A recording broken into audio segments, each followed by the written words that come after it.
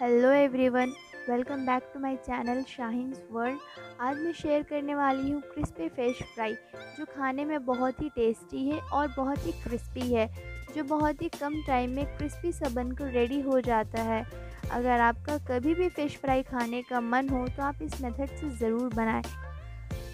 इससे आपकी fish crispy भी बनेगी और फ़िश में किसी भी तरह की स्मेल भी नहीं आएगी। तो चलिए स्टार्ट करते हैं crispy fish fry fish fry बनाने के लिए मैंने यहाँ पर रोहू मछली का यूज़ किया है। आप चाहे तो किसी भी मछली का यूज़ कर सकते हैं।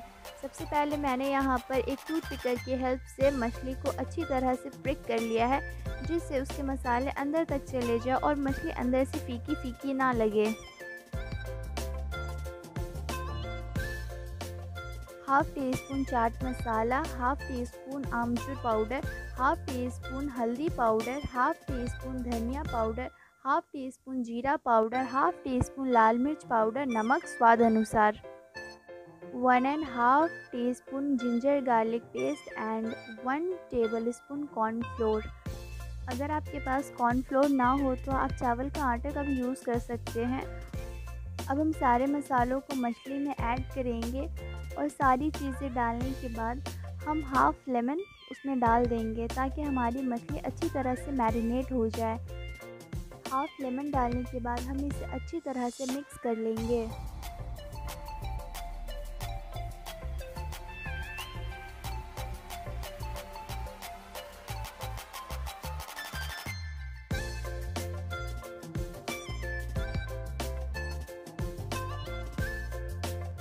मसाले अब अच्छी तरह से मिक्स हो गए हैं। अब हम इसे आधे घंटे के लिए मैरिनेशन के लिए रख देंगे।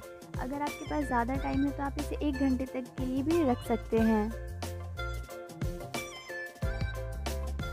आधे घंटे हो गए हैं और हमारी मछली अच्छी तरह से मैरिनेट हो गई है। अब हम इसे फ्राई करेंगे।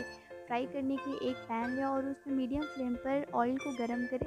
जब ऑयल अच्छी तरह से गर्म हो जाए तो हम इस मछली डालेंगे और इसे मीडियम टू लो फ्लेम पर फ्राई करेंगे।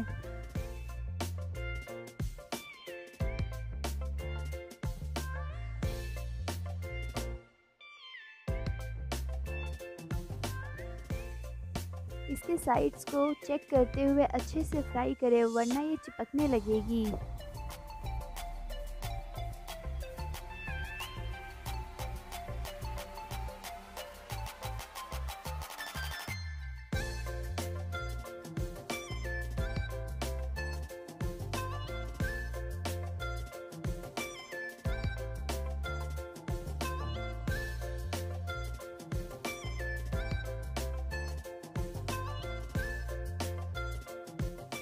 देख सकते हैं, हमारा ये क्रिस्पी सा फ़िश फ्राई अब रेडी हो गया है।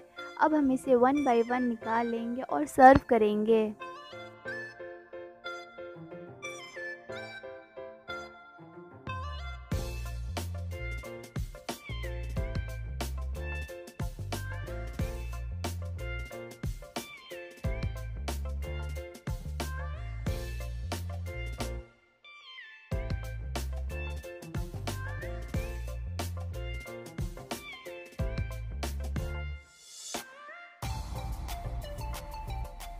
रेसिपी अगर अच्छी लगी हो तो वीडियो को लाइक करें और अपने फ्रेंड्स के साथ शेयर करें। अगर आप मेरे चैनल पर नए हैं तो मेरे चैनल को बिना सब्सक्राइब किए हुए ना जाए। आप मुझे इंस्टाग्राम पर भी फॉलो ज़रूर करें। मिलते हैं हम अपनी नेक्स्ट वीडियो में। वीडियो को एंड तक देखने के लिए थैंक यू